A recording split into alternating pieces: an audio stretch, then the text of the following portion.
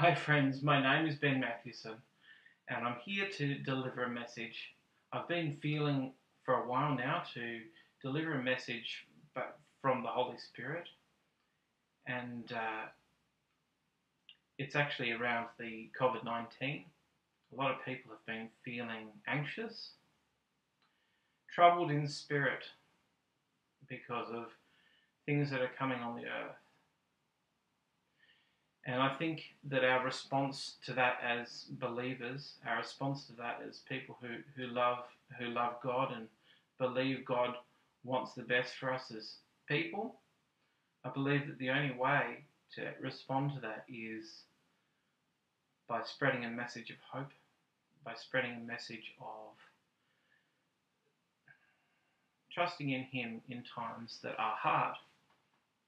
I've been impressed upon by God to uh, start a YouTube channel called Five Minutes in Prayer, and this is the first of a series that I think that will last for a while. Just asking people to sit down, have a break, and remember the Lord God is in control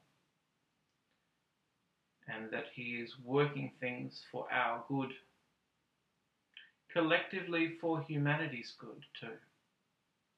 So, without further talking, I thought I'd read Psalm 91 to you.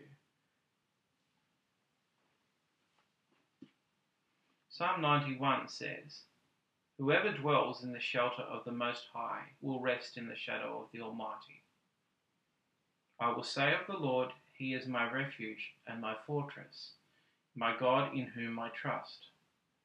Surely he will save you from the fowler's snare and from the deadly pestilence.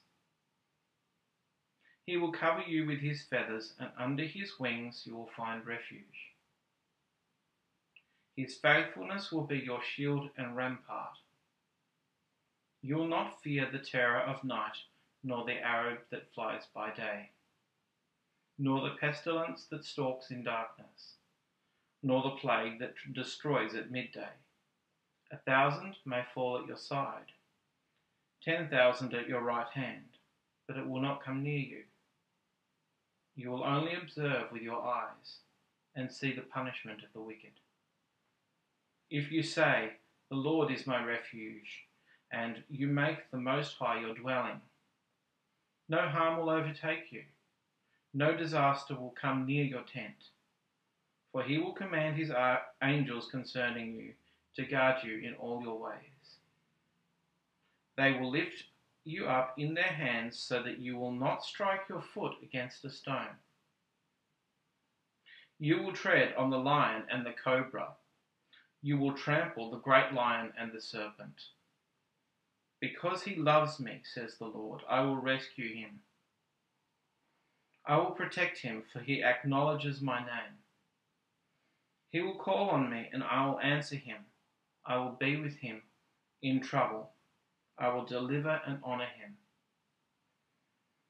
With long life I will satisfy him and show him my salvation.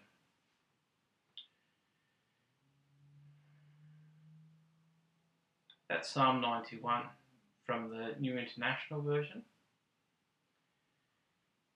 I hope this ministered to you. I'll be doing a, a great deal of more videos, hopefully more on the, the spirit of overcoming faith, well, overcoming fear by using faith as our weapon. I hope you have a great day or evening, wherever you are, and God bless you.